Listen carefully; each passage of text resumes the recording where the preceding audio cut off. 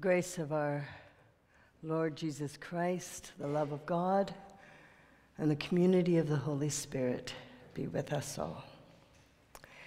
Welcome to this Good Friday worship service.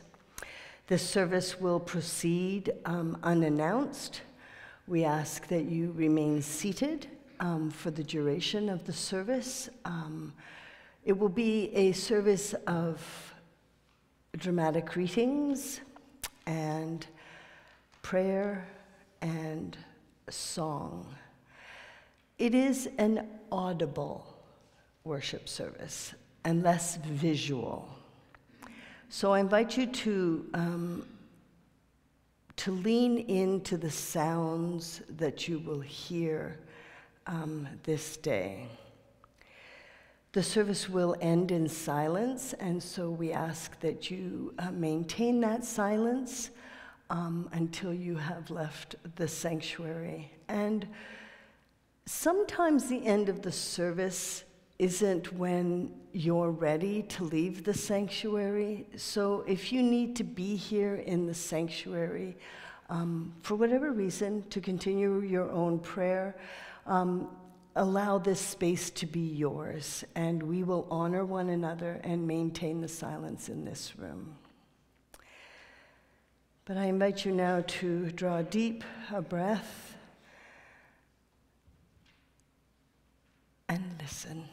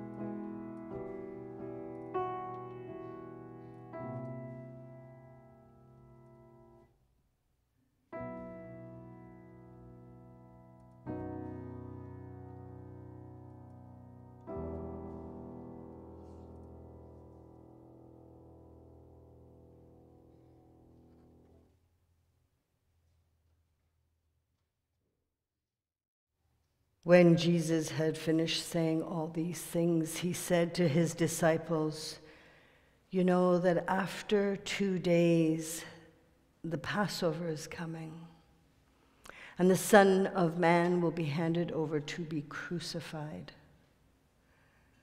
Then the chief priests and the elders of the people gathered in the palace of the high priest, who was called Caiaphas and they conspired to arrest Jesus by stealth and kill him. But they said, Not during the festival, or there may be a riot among the people.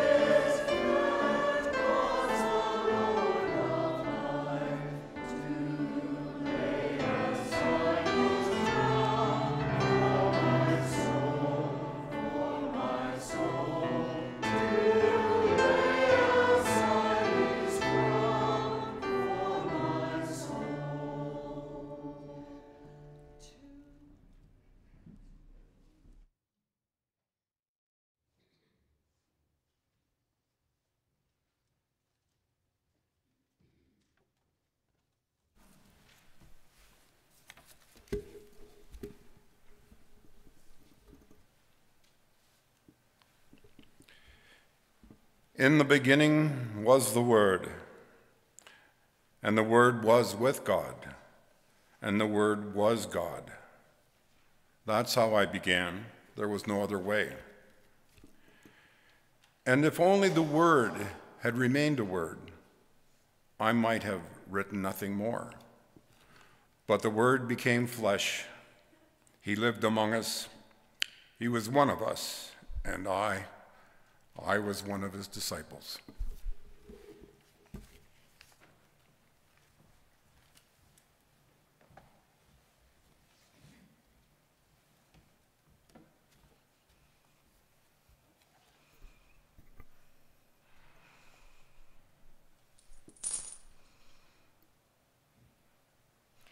How much?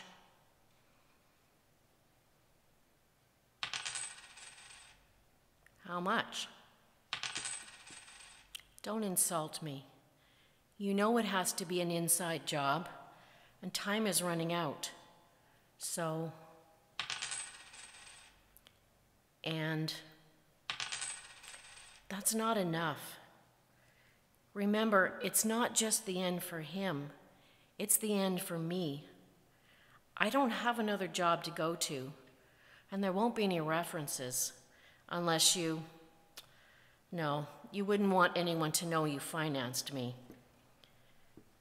You're supposed to be above that kind of thing, like me. Well, you know, the difference between you and me is that I like him. I love him. All right. Tonight. I'll kiss him. I'll kiss him. Is the bag empty?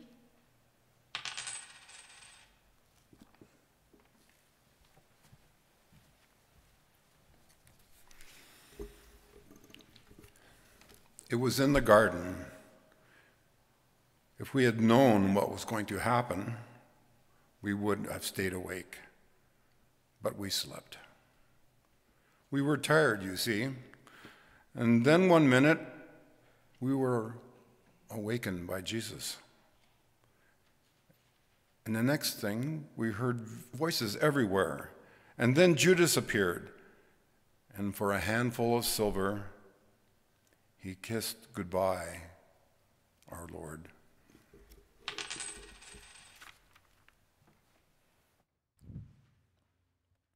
Let us pray.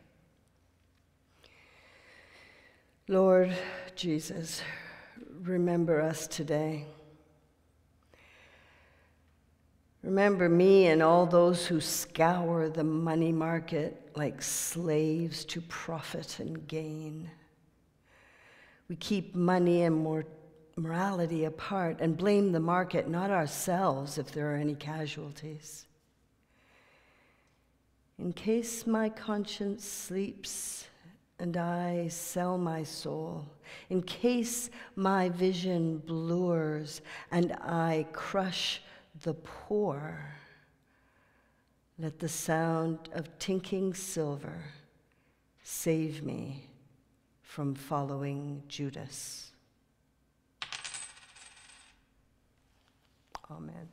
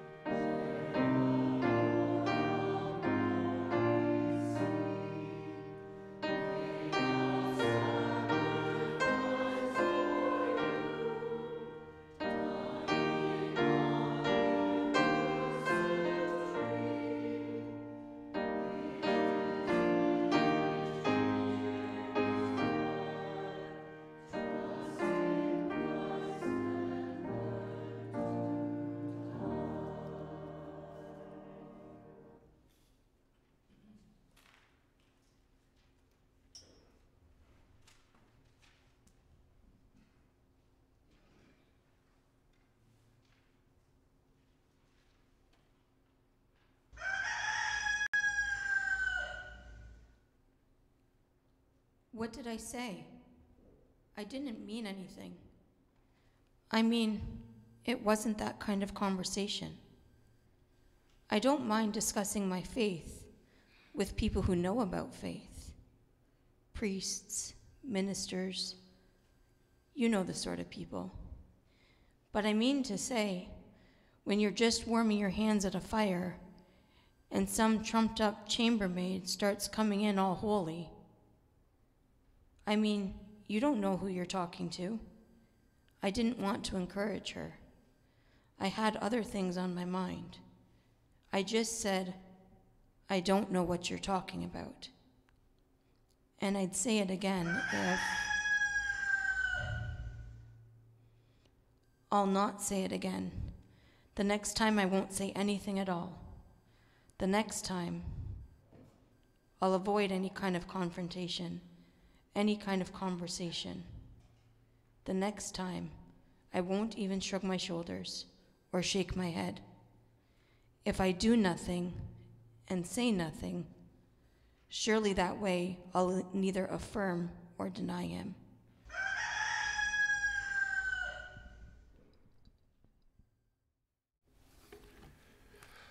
At least Peter was there. He went all the way, though at a distance. He even managed to get inside and stand with the soldiers and servants, heating his hands over the open fire. I don't know whether he thought he could remain anonymous, him with an accent, or whether he thought he had a way with words.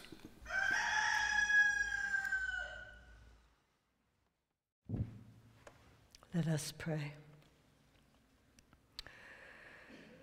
Lord Jesus, remember me today, for I've got away with words, and I've got away with words. When I'm cornered, I don't commit myself, I just argue my way out of my corner. Because there's a cost to commitment which I don't want to pay. If I am asked what I think about religion, I'll give a good reply. But if I'm asked if I follow you, I avoid the question, as if you weren't important. When I sit on the fence, let the sound of the cock crowing save me from following Peter. Amen.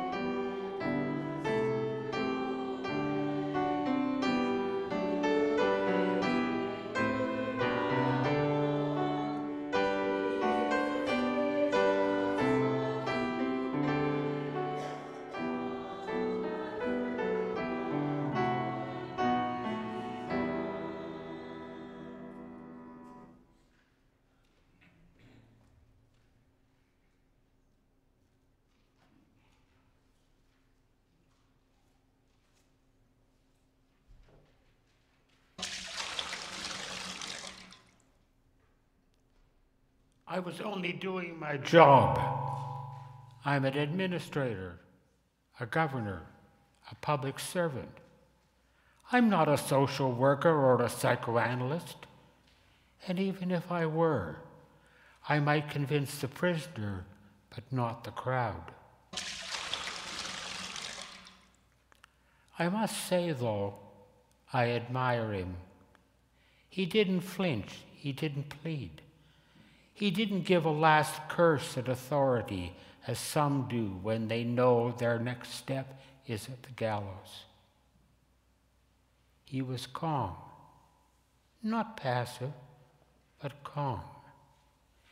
He looked at me almost as if he understood my dilemma. I was moved, actually. I was very moved. But it's not my job to be moved. It's my job to administer. I have kept my feelings at bay and my conscience quiet. Even when I know better, there's the crowd to consider.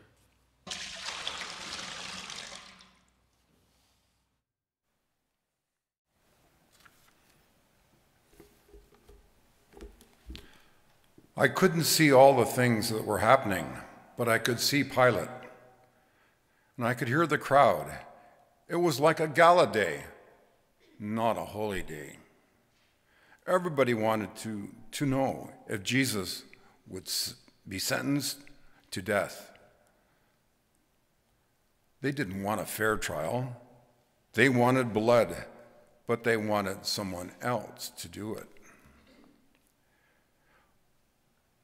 When Pilate said he couldn't find any guilt in him, the crowd went wild. It became obvious that it was either going to be Jesus' life or Pilate's job. So he opted for self interest. I wonder if he can still live with his conscience.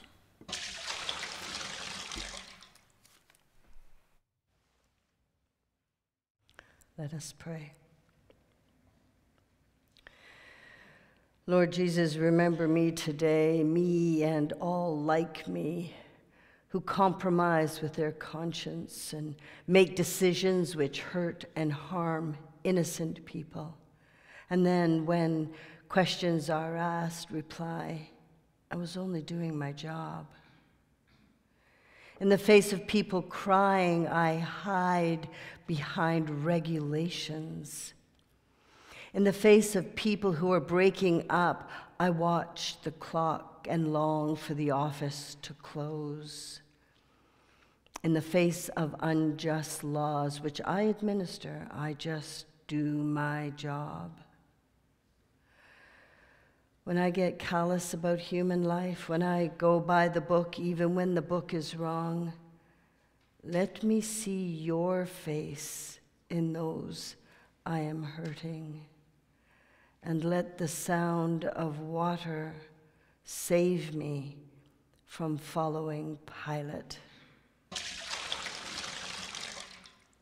Amen.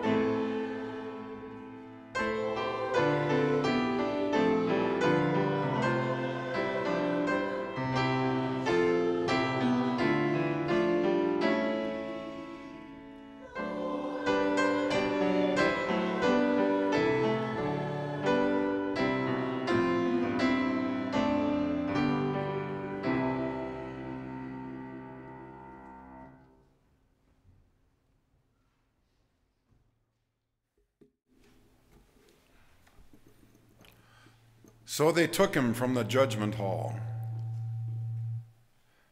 They stripped him and they flogged him. And then they put purple cloth over his shoulders. And for a moment, he looked majestic. You couldn't see his wounds, just his face. Then they threw a wooden shaft over his shoulder and prodded him like a beast in a cattle ring and made him walk until he stumbled. Then they, then they made him walk again and forced a stranger to share his burden. I thought to myself, if we all carried it, it would be easier for him. Then I thought to myself, but who would dare?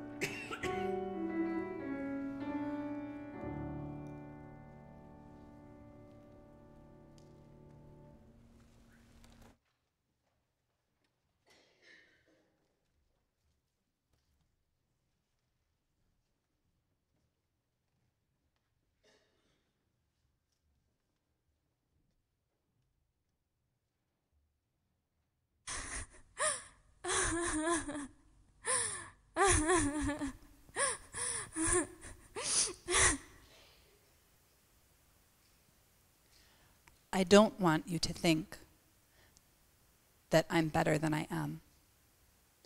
I've wept before, lots of times. But I've been paid for it lots of times. It's a kind of sign line, the way we have funerals they are public occasions. If you're going to have a big wedding, you hire a big band, or at least two or three men with their mouth organs.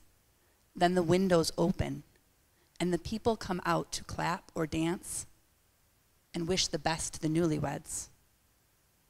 But if you're going to have a big funeral, you don't hire a band. You get some women like me who can cry at the drop of a hat, to dress themselves in black and weep and wail for as long as you like. I wasn't dressed in black today. It was just my ordinary clothes. And it was no act. I wanted to cry. I wanted to cry for me and for every other woman that Jesus has helped or been good to.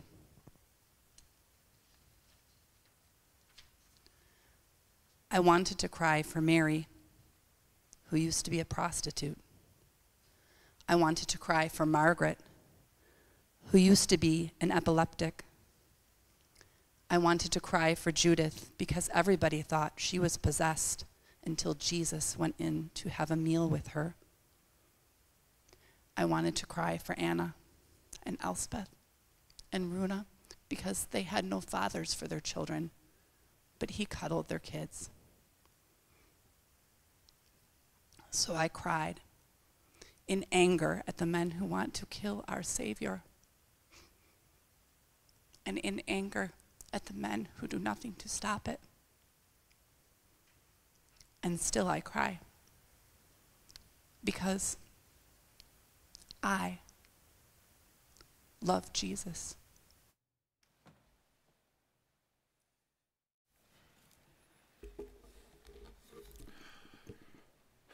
There were crowds of them weeping at the street corners and on waste ground, all through the city and up the hill to Calvary. And some said, It's just women. What else do you expect? And some spat on them. There was a lot of spitting that day. And Jesus, so they say, told the women not to cry for him. There were other things to weep about.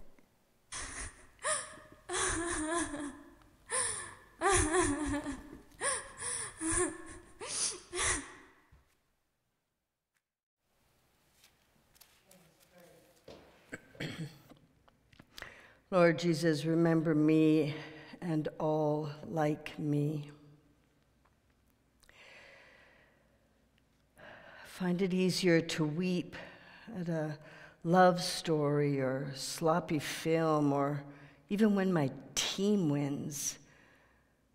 Find it easier to weep then than to weep for the people of Gaza or Ukraine who have had to flee their country seeking safety, or for the people who have no food or the people seeking medical attention and finding themselves in lineups months long, or the teenagers whose minds are bent by social media to the point of not knowing how to learn through concentration anymore. I no longer weep when seeing folks begging on yet another London intersection and they have no hope. Lord, when my tears only come through sentiment, let the sound of women crying remind me that there are other things to weep about. Amen.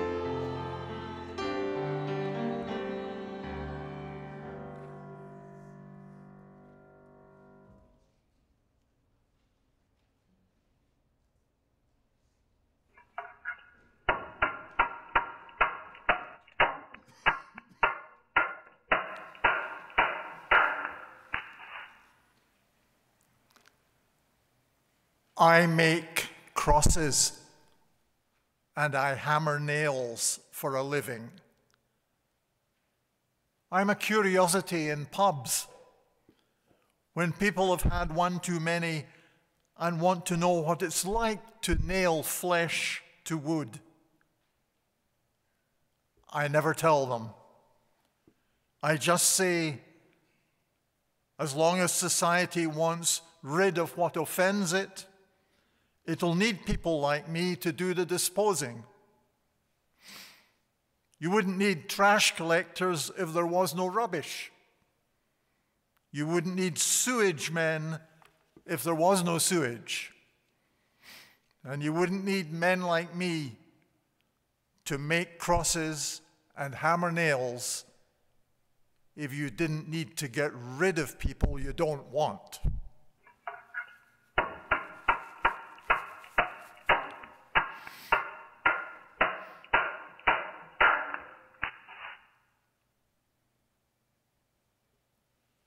This one, Jesus. If people didn't need rid of him, he wouldn't be crucified.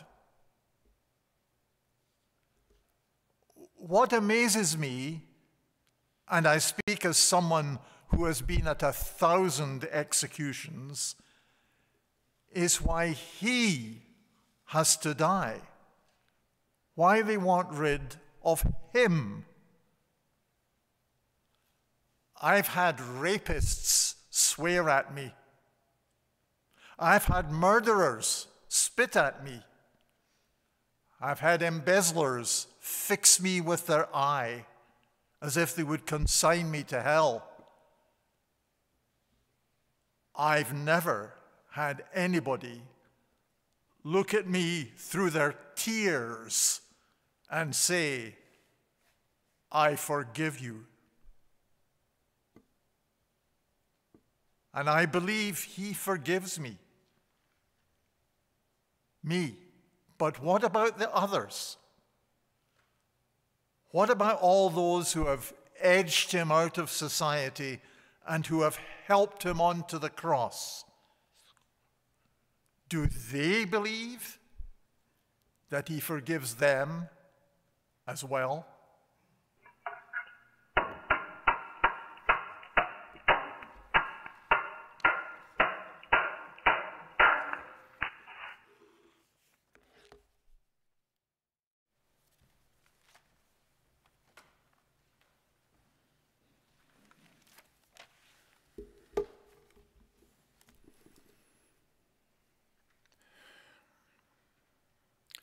After they had nailed him, they raised the cross, and everybody saw him. I was at the back of the crowd with his mother. She made me go nearer to the front, so I went with her. I heard all he said. I heard him cry out in thirst. I heard him promise paradise to the thief beside him. It was quiet you see. No one wanted to speak. It was as if the crowd had found its conscience at last. And then I saw him look at his mother and at me and told us we belong to each other.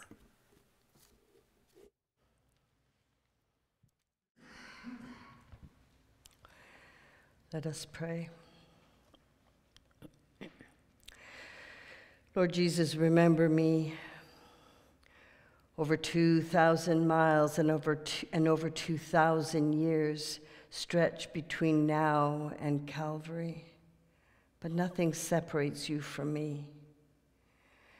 Your crucifixion is not in the past, it is here and now. And in a thousand subtle ways, I betray you deny you, wash my hands of you, and condemn you. And all the goodness that I might have, and all the good works that I might do, and all the right decisions that I might make will never come to be unless I accept what I am one of your persecutors? And unless I ask for your forgiveness, that I might become one of your friends. Amen.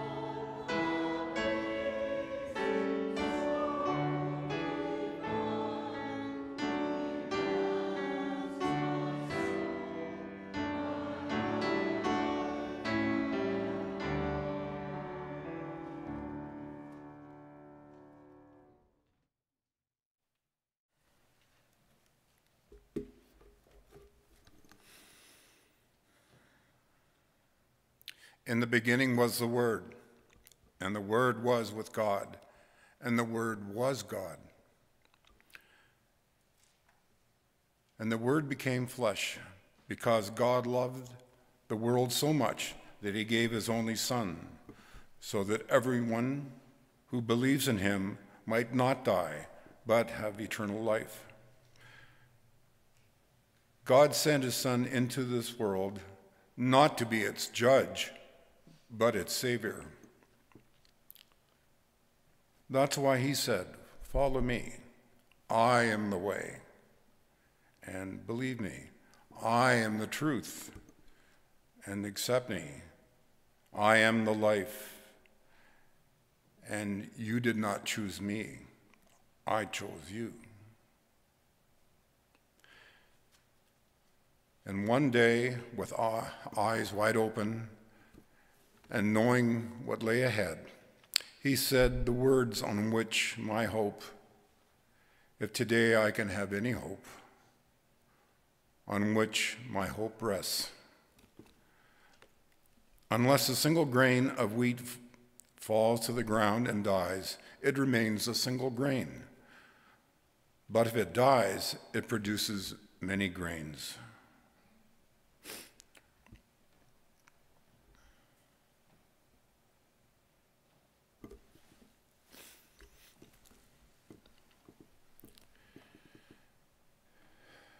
And then he went on Those who love their lives shall lose their lives, and those who lo- lose their lives for my sake will keep their lives for eternity.